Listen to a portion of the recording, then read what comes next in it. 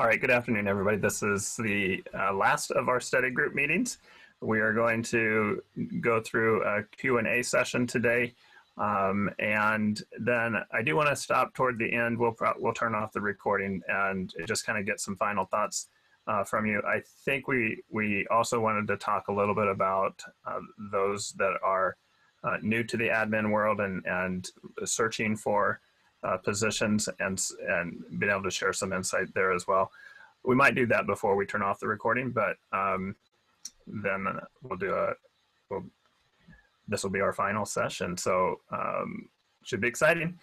I'm going to stop share uh, this particular slide and let's go into the uh, exam question. So and let me get my face out of the way.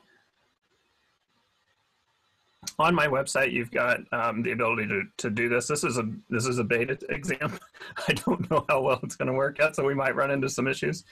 Um, but I do have uh, both the admin certification and the platform app builder. I've got uh, that set up. You're welcome to go out and run through this on your own. I know that we're not going to get through all the questions today. Um, but I'm going to set it up for 20 questions. We'll see how, if we can make it through 20. And looks like I might have to make my screen a little bit smaller. Is it big enough for you guys to read? Are you able to read it okay? I'm good. Okay. Yes. All right. And just for fun, this is actually built on Flow, sitting on a Salesforce community. So um, if you're curious how, how I did this, I'd be happy to show you the back end at some point. Uh, we can do that. So let me get this large enough to get everything on the page. And if I need to, I can zoom in. You still, are you still able to see it okay? Yep. Yes. Uh, all right. Um, it looks like it gave me 18 questions instead of 20, so we will go with that. Um, and what I'd like to do is maybe just go through and I'll randomly select you guys and have you answer them. Uh, and we'll talk through them if, uh, if we get an answer that, that you're not sure of or a question you're not so sure of. The Human Resource Department has assigned, it um, has assigned, is assigned to the Sales app. They see many tabs that aren't relevant to them. They, and they've asked if you could fix this. As a Salesforce admin, you determine the best approach to best approach is to build a custom app for them. Which of the following is not an option when building a Lightning app? Choose one. So Scott, do you want to take that first one? I'll have to look at this for a sec. Yep. Um, Go ahead.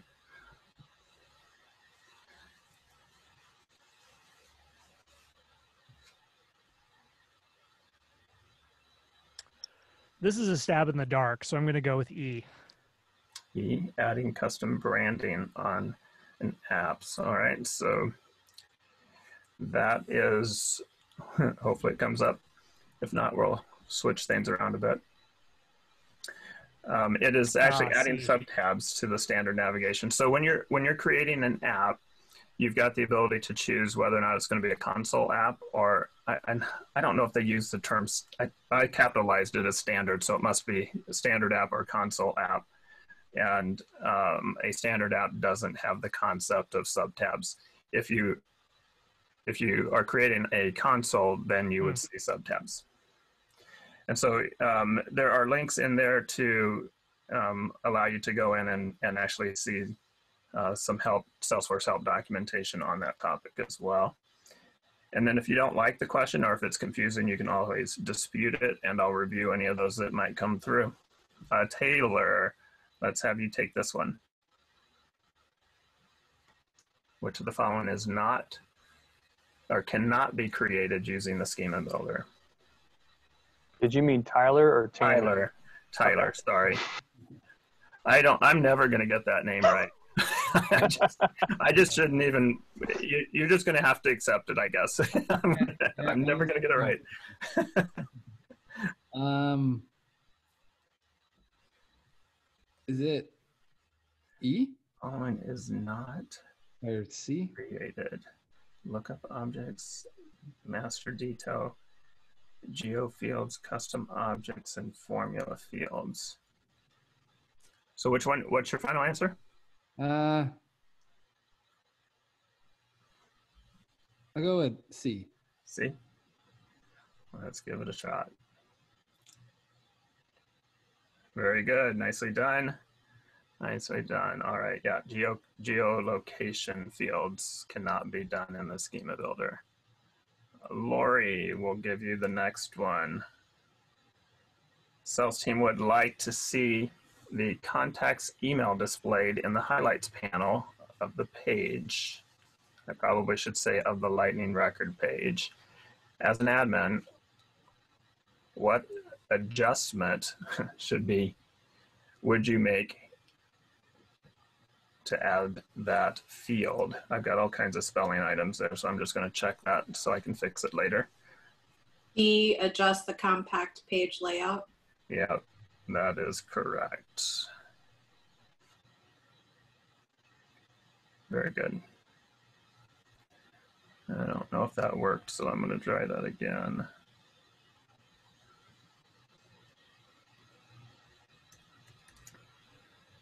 All right. Um, Meredith, I think I've got you next on my list. The big box store has enabled social.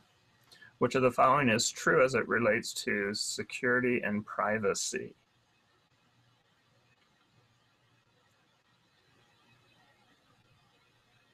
I'm just reading. Yep. Take your time.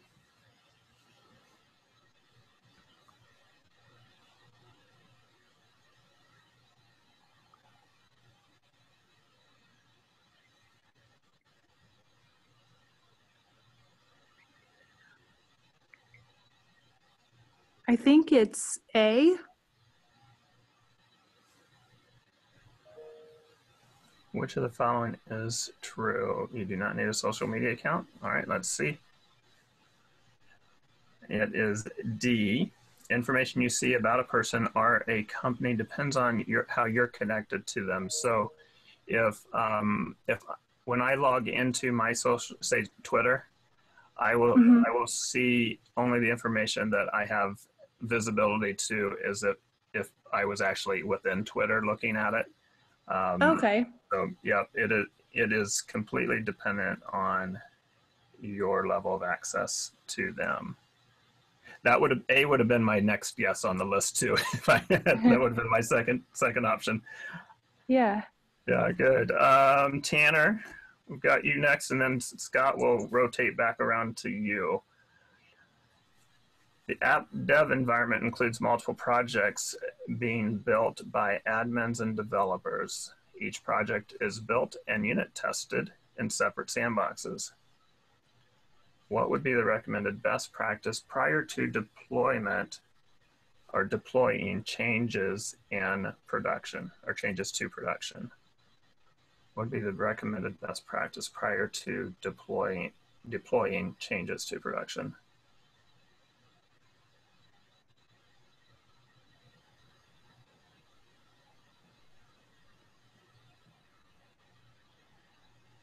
This is a life cycle type question here, or app dev.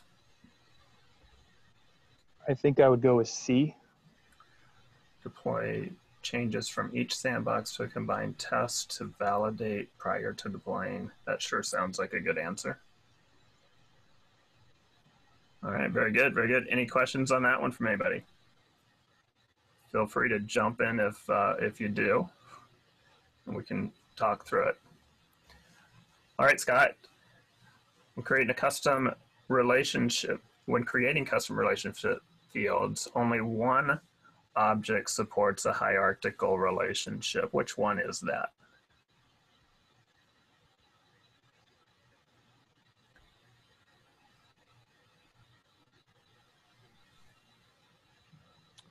B case.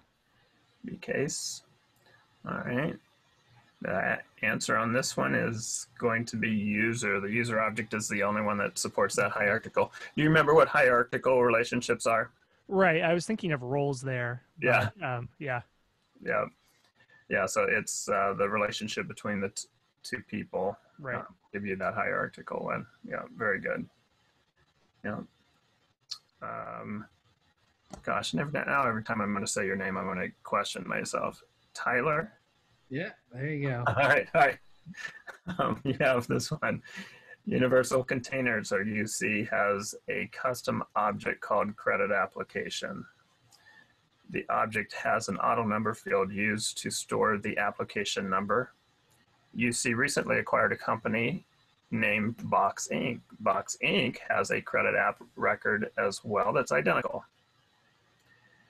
As the admin for UC, you've been tasked to upload 12,000 credit applications. Box Inc.'s application number must be retained and loaded into the UC's credit application number field. How would you accomplish this? So first, is the question clear? This one was a little bit hard to try to make sure I, it made sense. Yeah, I think I have to read it again. Okay. yeah, I, I think I'm following along. Okay. They, they acquired a company that has nearly the same uh, number for their application record. Yeah. And so they want to keep their application records yet still. Yeah. not have conflicts. Okay. Um, And it's going into this auto number field. That's the kind of that keyword up there. right, yeah. So this kind of goes to some of those questions of um, where we talked about if you change the field type, um, what's the impact of that? So I'm kind of giving giving the answer away a little bit there, but uh, that's kind of the intent behind this particular question.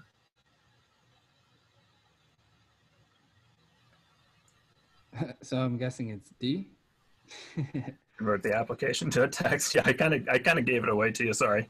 Um, change it back to the auto number after with a new starting number. So that auto number field, you can change it to a text field that that will allow you to add additional records where you're controlling the value that's going into that field. Once your once your data is uploaded, you can then switch it back to an auto number and change that starting number or sometimes you might think of it as a seed number. What's the what's the next number that's going to get assigned when a record goes into the object? Does that make sense? Any questions on that particular one? Oh sorry i should uh, select it and move on huh? All right the other thing there too is what you, you notice that I mentioned 12,000. And um, I think one of my answers said something, yeah, here, import wizard. So if you see something like that where you've got more than how many records for import wizard? Somebody tell me. 50,000? 50,000. Yep. Okay. I think that's correct. And so watch for things like that because if this number was bigger, then you could have immediately uh, uh, ignored or crossed E off of the list. So things like that are kind of helpful. Um, again, it's not. I had somebody um, uh, message me this week. Uh, we were kind of chatting back and forth a little bit about Salesforce's questions and and the thought of uh, that the questions are sometimes trick tricky and um, I tell you, they're not necess- They're not intended to be tricky, but they're you do have to watch your word each word on those questions because one word can sway the answer one way or the other. And so, um, always, always read those. Read very, very carefully. Watch for for things like that, um, uh, so that you're you're able to eliminate certain um, options on those questions. So, let's move to the next one. I forgot where is it, Lori? Are you up next? Yeah, I think so. When creating fields, which of the following are not available custom field types? There's one in this list.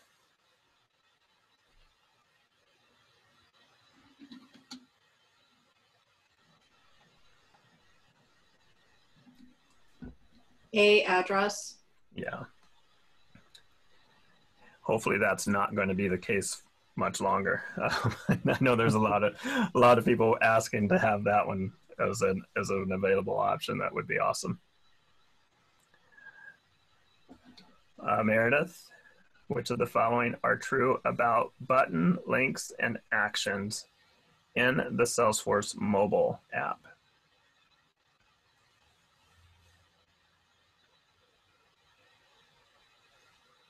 There's two correct answers here.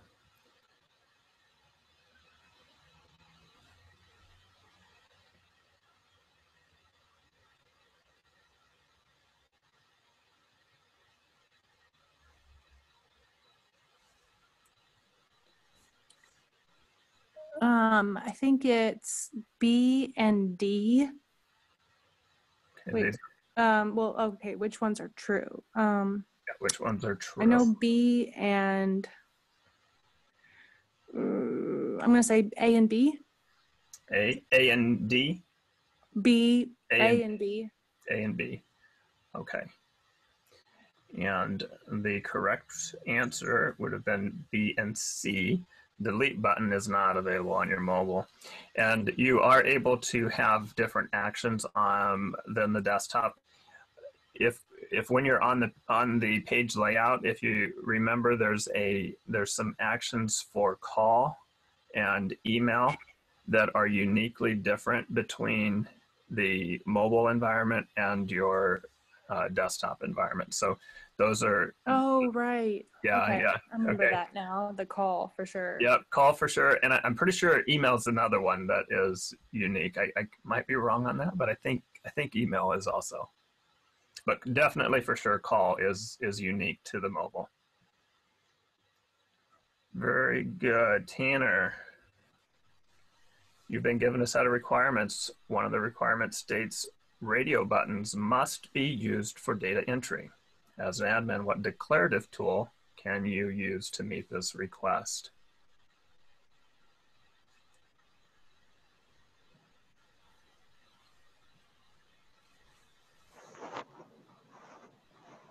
Uh, C, build a Yeah. screen flow. Yeah, that is correct. Um, that is the only um, way that we can do it declaratively is through a screen flow. You can do it through a Lightning Web Component, but again, that takes code. Good job. Back to Scott. Human Resources wants to implement um, a Salesforce solution to allow and track employee complaints.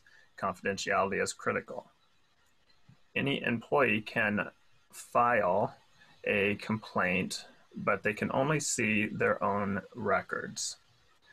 Assigned people in HR are allowed to see all records. Assuming the complaint object is marked as private in the organization wide defaults, what else would be required to prevent people in the people higher than them in the role hierarchy from seeing records submitted below them. D, in the org wide defaults, uncheck grant access using hierarchies. Yeah. Very good. I think that's the correct one. Yep. Nice, nicely done. Tyler, which of the following development tasks cannot be completed declaratively?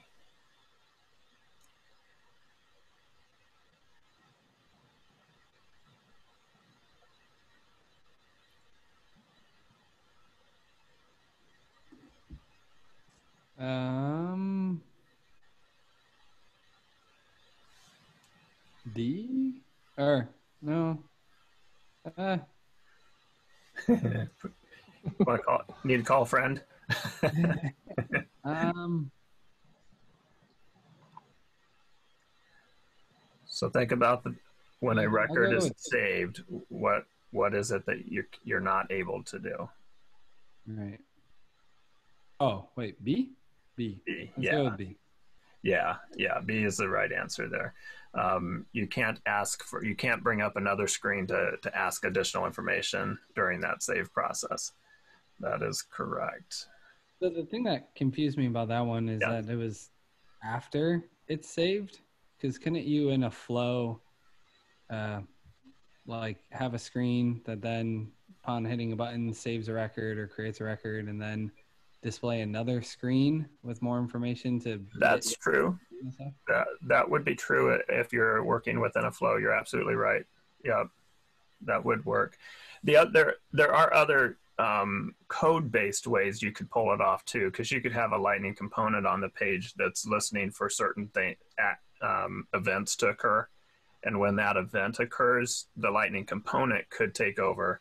It's going it, and maybe the wording on the question needs to be adjusted a little bit because in it, if I were to say during the save process, then the Lightning component piece wouldn't work either because Salesforce will not allow you to interrupt the save process. So that transaction will save. Um, they're not going to let you stop that. They're going to they're going to make it save, and then you, then based off of the data, you could in, in essence kick off another process through code, um, or if you're in a Lightning flow, absolutely you could do the same thing there. Yeah, good good good stuff. Lori, an admin for Ac- Accurate Designs wants to automatically set the value of a field that is required by a validation rule. Can this be accomplished, and if so, how? Hmm.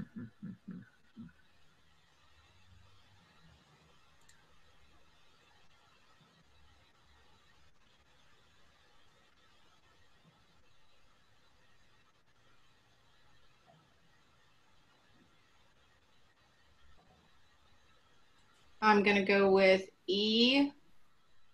I'm not real confident in that. okay. All right. I had to go through these ones too and think, hmm, I wonder. um, all right, so um, process builder runs toward the very end um, of the process. So it's, um,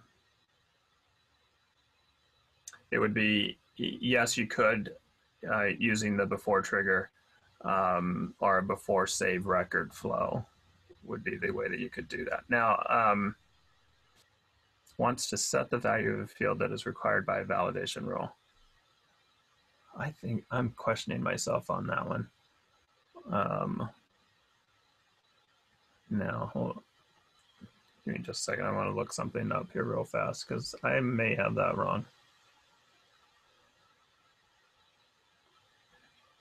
Um, so this is the order of execution that uh, it's a diagram that I put together. So you've got system validation that's occurring. That's that's things such as uh, when your um, when your object or the field on your object is marked as required. That's that's some of those types of things that are happening inside that system validation. Um, then your Uh, yeah your, your little system of execution, um, that's actually what's showing as your camera. You able to switch it? oh sorry Oh, actually, I was able to Yes. switch it. Yes, yes, yes, I can. It's probably switching if I talk, isn't it? Um, but let me sh- let me share it differently. Sorry about that. Better. System validation, record triggered flows before trigger flows, system and user validation. So this is the validation rules that you're that we we create. Your duplicate rules fire, and then you kind of get that middle process of, of the record is partial. It, it actually is being written to the database at this point, because at this point you do get an ID number um, for the record that's that's being created, but your transaction isn't technically complete yet uh, that you've got your after triggers, your assignment rules workflow, process builder, and flows. So this is this would have ran after the user piece uh, as far as this particular question is concerned. Escalation rules will run, and then record triggered flows run um, at the very end, and then your record is finally committed. So that's that's that order of execution. I can share that with you guys as well, so you have it. Um, it's kind of a helpful little tool. And back to the quiz, if I can find it.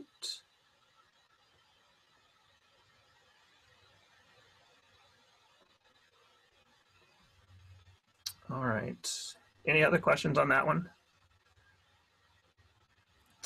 All right. And is it Meredith? I think you're up. Yes. When creating a validation rule, which of the following fields are required? Error message. Okay.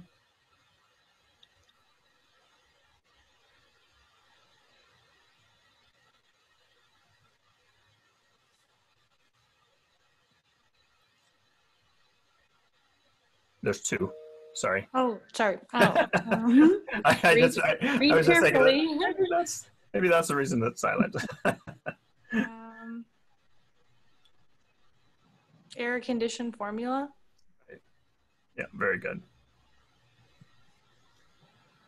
Okay, Tanner, you've got this one. What are the types of calculations available when creating a roll-up summary field for a currency field?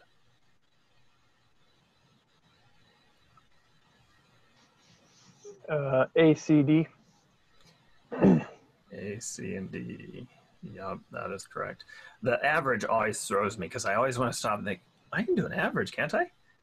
And You can on reports. yeah, exactly. That throws me off too. Yeah, that one, that's the one that gets me too. Um, so, all right, back to Scott. When a child object is related to its parent using a master detail relationship, what is the implication to sharing rules?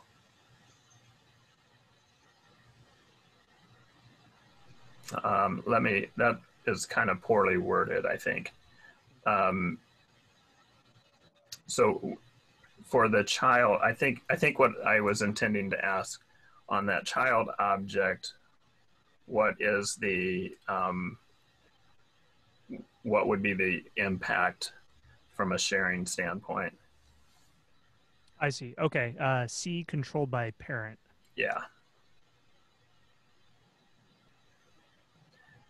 Yeah, I should mark that one too. And that's- didn't they use like the term inherited? Like, what does Um, it inherit? I don't know if that gives it away, but It, it, I don't think that the documentation refers to it that way, but, um,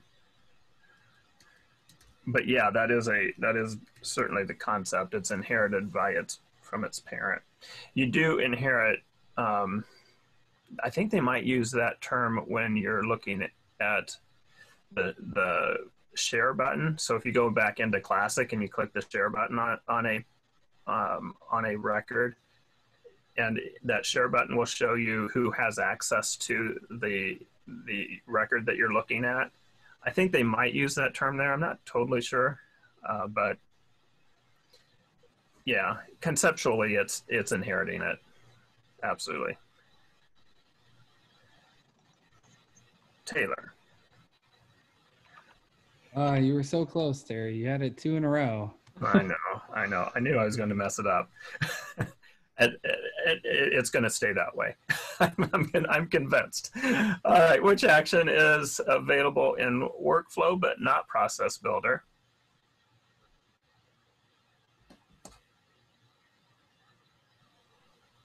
It A? A. A is correct. And what is an outbound message? Can you tell me that? I was gonna ask actually what outbound messages was too, um, but I knew that the other four were possible, so I Yeah, yeah, absolutely. Good. No, that's a great way to great way to do it. A process of elimination. Somebody tell us what is an outbound message.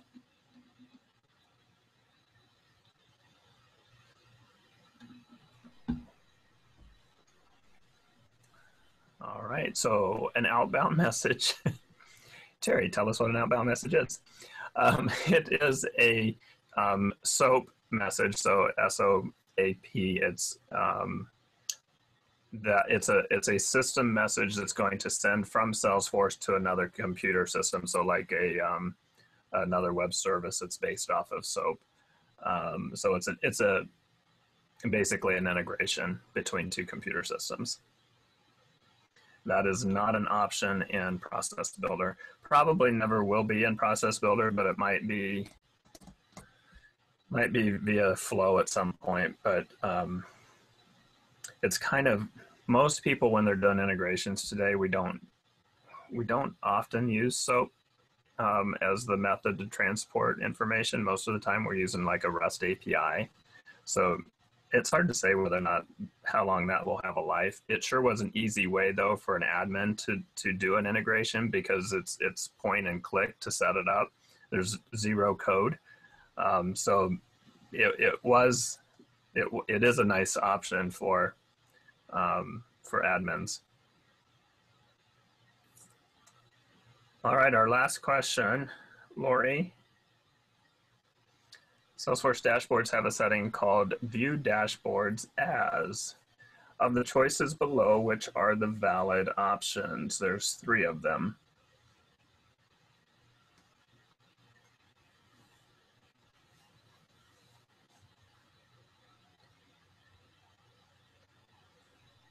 What is E, the dashboard viewer? Sorry, I'm having a hard time seeing the.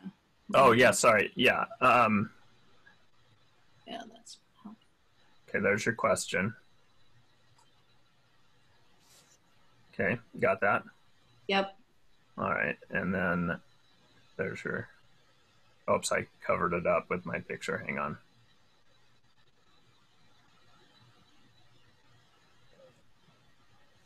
So you can view the dashboard as me, a system admin, another person, my team, or the dashboard viewer. And Um, there- There's three correct answers. it's definitely me and my team.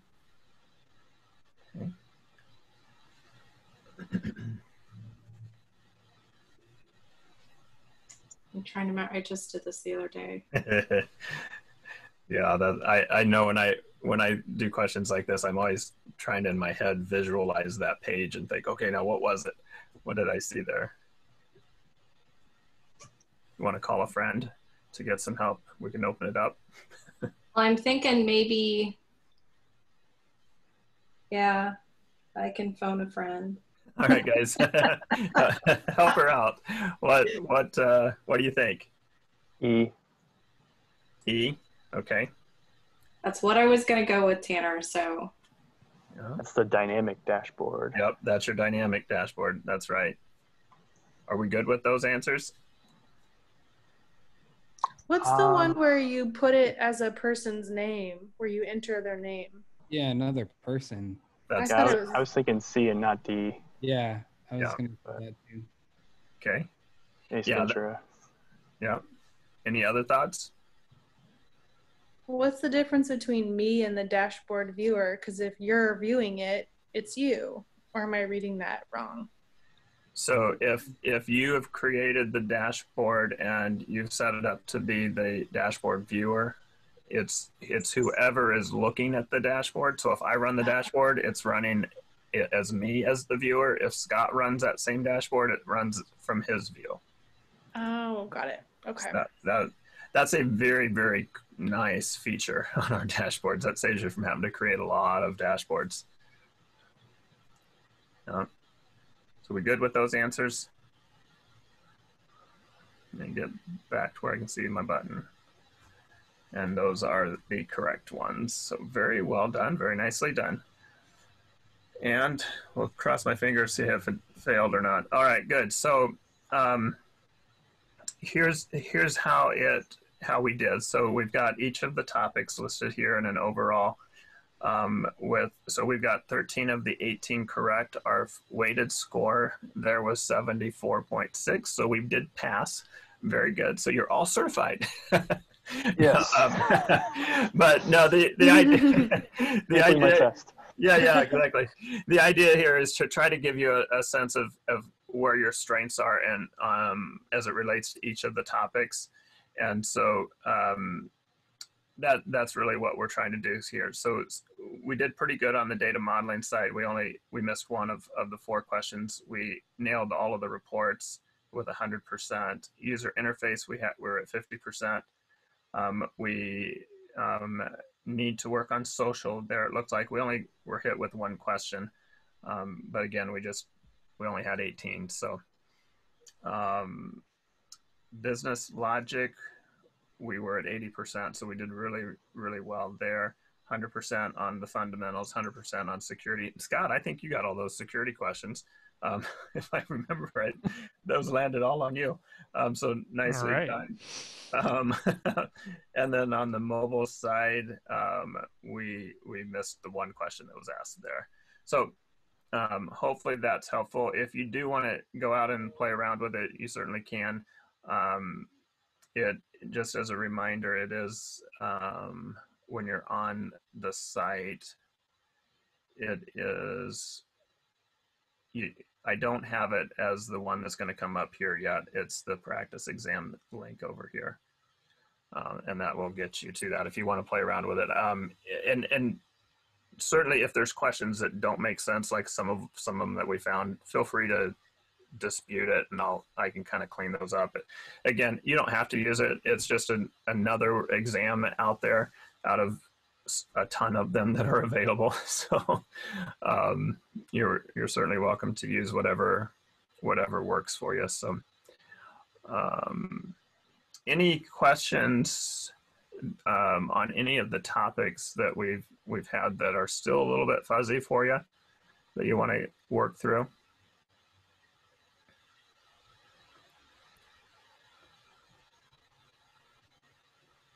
Everybody feel pretty good. How how are you feeling about where you're at and being ready for the for an exam? I feel Uh, I- Yeah, I feel I feel pretty good. Yeah. I have Yeah. mine scheduled for Friday. Awesome, awesome, very very good. All right, and who who was that? I Tanner. Tanner. Awesome, very good, Tanner. You will have to let us know. Uh, so that'd be awesome. That'd be very good. I if you- scheduled mine for like the 31st, I think, on Okay. Monday. Okay. But I have I gotta I have some work to do, I think. but I just I know I just need to take it because this has been really helpful and this will keep everything fresh, you know, if I do it pretty soon. Right, right.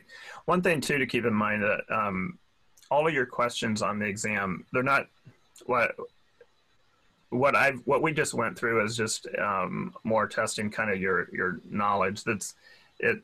The questions on the exam are all going. All of them, I I believe I'm correct in saying this. All of them will be scenario based. They're gonna they're gonna give you a paragraph to read, and then they're gonna ask you the question. I I I recommend to people as a best practice, read the question first. It will be separated. So you'll see the, the scenario at the top, you'll have your question below it um, in kind of like a second paragraph. Read the question, then go back and read the scenario portion. Because then as you're reading the scenario, you know exactly what you're looking for. And that is extremely helpful. It saves you a lot of time from having to go back and reread the scenario. Um, so just throwing that out there as a as a good technique um, when you're I'll taking do that. I hadn't heard of that, so I will try that. yeah. It's very i i personally find that much much helpful but partially because i'm kind of a slow reader and and i i it takes me a little bit to to kind of process what it is that we're asking. And so it for me it's a big time saver uh, to to take that approach. So uh, hopefully that helps you guys as well. Lori how are you feeling I'm feeling okay. I did have to, I originally had mine scheduled for last weekend, but I had to um, reschedule it due to some other obligations. So Okay. I have it rescheduled for the end of the month. end of the month all right Yeah. very good very good you feeling pretty good Um, I think I need to take some more practice tests. okay all right Definitely have a little more studying to do. Okay. All right. Very good. I'm looking at your name, Taylor, Tyler, and um, every time I look at it, I'm trying to think which way is it. Um, how- how are you feeling? yeah, I feel good. Um, Okay. Do you have it scheduled? uh, I don't. I was actually just uh, trying to look for uh, time to Okay. schedule it. Um, yeah, it was definitely helpful to get a better understanding for what to expect. Okay. Good. Good. And Scott, how how are you doing with it? Yeah, I think this uh, course is really helpful to build the foundation, and I want to take a few practice tests uh, first, um, focus on force or whatever, to, and then the official trailhead stuff, just to really dig into the terminology of what they use to Yeah. not get tripped up on the little um, things they use there. But once I get that sharpened up, I think I'll be ready. Good. Um, I I forget which. Um, I should have kept a link to it. A question was posted. I think in the.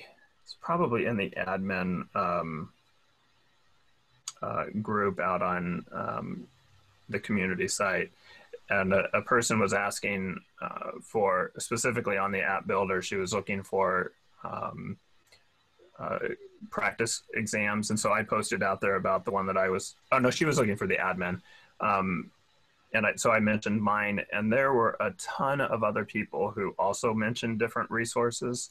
Some of those i'll, I'll find that and i'll email that to you guys so that you have it because it's a great study tool as well. So, uh, several of the sites that were mentioned also have app builder as one of the um, options. So if you're looking for um, practice exams that's that might be helpful for you guys as well. So i'll find that and shoot that out in a email. Anything else um, other questions that you would have that you'd like to run through? If we have some time, um, I still don't really grasp the parent account scenario, how it works, why you would use it, on the So- account object? The uh, or the person accounts. I'm sorry, not Oh, parent person accounts. accounts. Person accounts. Yeah, yeah. Um, in fact, I've got one question that it didn't come up in this one, this cycle, but it may come up. Is a question specifically on that. So, um, person accounts. Think of those as an option when you're doing a. Uh, let's say you're a retail store, and you want to. Um, you you want to have Salesforce be a record of your customers. Well, your customers are all individuals; they're not businesses, and and so person accounts allows you to come in. From a user perspective, it, it kind of combines the account and the contact object into one. So as as as you make changes to the contact object, they actually show up on the account object and the contact object while it still sits there and it holds data it you can't get to it on a person record. If if i were to look up um, if i did a search in salesforce for tanner it's and and i see your name and i select it, it i could potentially in fact i would see both a i'd see two tanner records. One as a contact one as an account if I click on on the contact one, it's going to take me to the account, just like the account one would. So uh, the the structure on a person account is is still account and contact. It just duplicates the data. So one thing when you're if if you were to be asked a question on person account from a data um, storage perspective, understand that a person account is going to duplicate your data because it, it is going to live on the account. It's also going to live on the contact object. Uh, so it, just, yeah, keep that in mind as because I, I could very easily see that being a question. Mhm. Um, does that help? Does that Yeah, that that kind of sense. context okay? makes more sense. Yeah, it, it's it's always used in the scenario where you're dealing with a uh, person primarily within your org as your, as the people you're dealing with. So consumers. Mhm. Um, in in a person account, you can still have a business con- contact there as well. So you it, you're going to have uh, um, record types. So if I were to if I selected a new account, it's going to ask me if I want it to be a person account or um, you know whatever you want to name your business accounts, so which is a, a person account or a business account. So record type controls it. So you can still have your traditional account contact relationship, but if you select the record type that's a person account, then it's then it's all going to live on the um, account object. from the page layout view. So yeah, it it's a little Okay. the, the data model's a little bit confusing. I, it, they're not gonna I don't think drill into that too much, but they may they might question the concept of it duplicating the data because you you will hear that as the primary negative of of the person account model. Gotcha. it used to be people hated it and avoided it at all cost. Um, I'm of the opinion now that it it shouldn't be something that you're afraid to turn on if it makes sense. I would suggest turning it on in a developer environment first, just to make sure. But um, you don't want to turn it on in production and, and then find out, oh crap, that was a mistake because you cannot turn it off. Um, so yeah, be careful with it, but I wouldn't be afraid to use it today. It's it, they've really done a lot of work to make person accounts kind of um, in uh, in in line with a traditional account and contact model.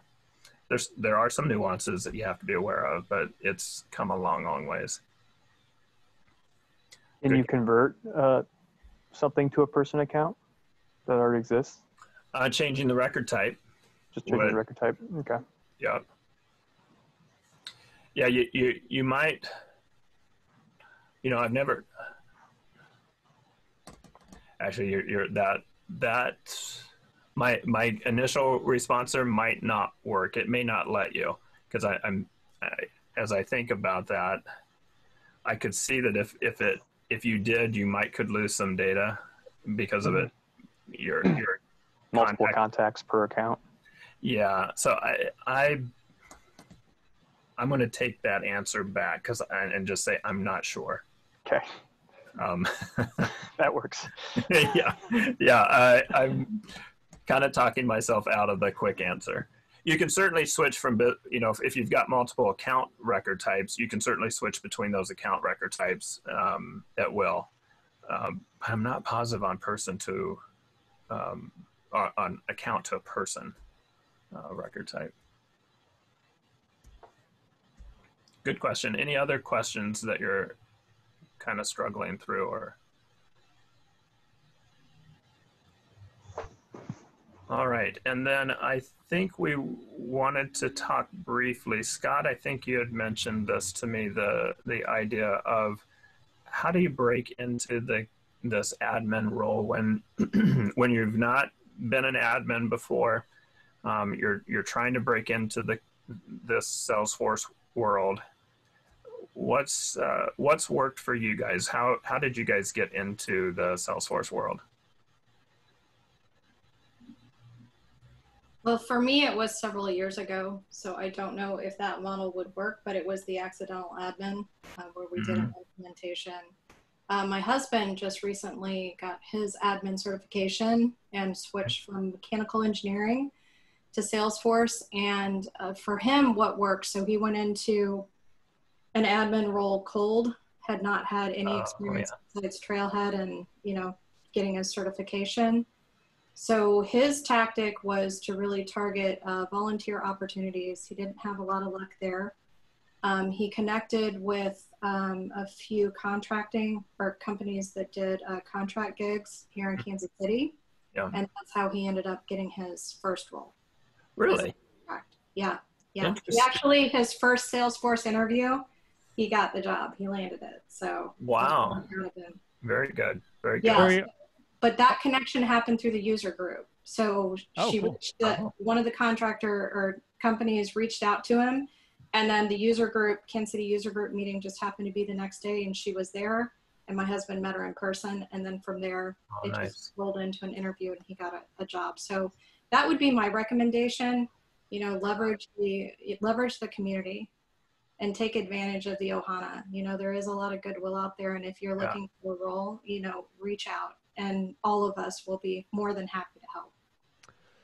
Okay, cool. Yeah, I am. Uh, once we start meeting again in person, whenever that will be, I've been at a few of them in Kansas City, and um, uh, yeah, I'm just. Uh, but yeah, I'll definitely follow up with that. And Scott, are you in Kansas City? I can't remember. Yeah, I'm in Kansas Yeah. City. Okay, because we could connect, and I can give you the name of the company my husband went through. Okay, that- great. Thank you. Okay, no problem.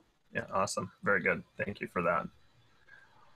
All right, I'm going to stop recording. Thank you guys very much. I'm, I do want to want you to hang on for just a minute for some additional questions, but I'm going to stop recording at this point.